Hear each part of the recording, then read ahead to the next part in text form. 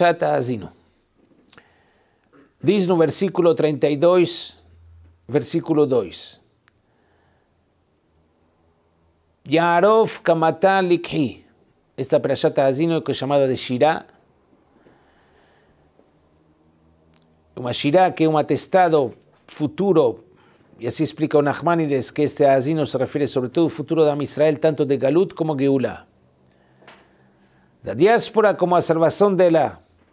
E diz o versículo 2 o seguinte: Yarov kamatar likhi. Eu vou traduzir literalmente, depois vamos ver o que o Midrash diz sobre isto.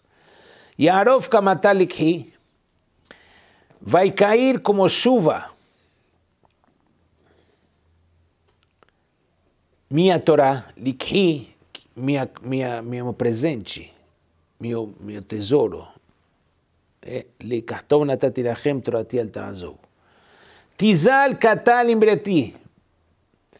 Vai descer como orvalho minhas palavras, diz Hashem. Kisairim aledeshe. Como a brisa que faz bem para os pastos. Vejerbibim aleesef, e como as gotas de chuva em cima do Esef. Esef se refere sobre as plantas. Até aqui o versículo. Diz o Sifri o seguinte. A Torá aqui está comparada, foi usada como Seirim. Seirim, vento, aqui está na tradução, mas Seirim também era os bodis, te pode ser a mesma palavra que pode ser usada como bodis. E diz, diz o Sifri, os Seirim mechaprim. Assim como os bodis no Betamigdash em Kippur, eles perdoavam, tinha o body para Hashem e tinha o body para Azazel, certo? Era o bode que se fazia. Os Seirim perdoavam os pecados de Am Israel. Da mesma forma, o estudo de Torá perdoa os pecados. Meus caros amigos, estamos depois de Kippur e ganhamos o perdão da Kadosh Baruch Hu, Bezrat Hashem, a gente ganhou o perdão da Kadosh depois de rezar em Kippur e tudo mais, e jejuar e fazer e cumprir o Kippur como corresponde. Porém, tem pecados que o Kippur não traz o perdão completo. Tem pecados que a pessoa, infelizmente, tem que passar por algumas situações adversas e surim para serem totalmente limpos. Quem quer saber detalhes sobre isso, a gente já falou um shiur aqui em Idabru também, podem procurar os quatro tipos de capará que tem em Kippur.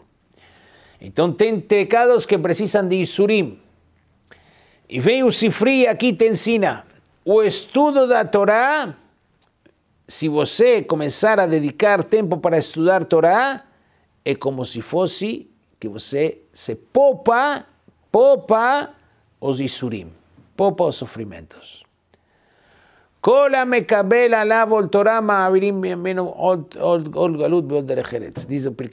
A pessoa que recebe sobre ele o jugo da Torá, ele limpa, tiram dele, poupa dele outros problemas. Quando a pessoa tem que receber Isurim, então no lugar dele se ter algum problema, não importa, qualquer problema pode ser até simples, não importa, sem citar agora problemas. A pessoa precisa, para terminar sua capará, provavelmente, no lugar disto, ele vai e coloca um, meia hora de estudo de Torá, uma página a mais, um tempo a mais para ler Teilim dedica mais tempo para estudar Torá, isto limpa e poupa os Isurim. Isso que nos ensina o Sifri aqui, que assim como Seirim também o estudo da Torá, Mechaper. Agora, depois de Kippur, é o momento para a pessoa abrir uma ficha nova, uma página nova, e ele começar a estudar Torá diariamente. Diariamente. Isto tem que ser o foco. Diariamente. E se você já estuda diariamente, aumente. Quanto você estuda? Meia hora?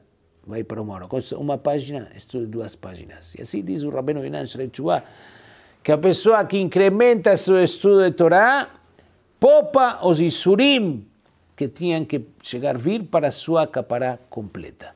Então vamos pegar esta dica do Sifri sobre este pasuk.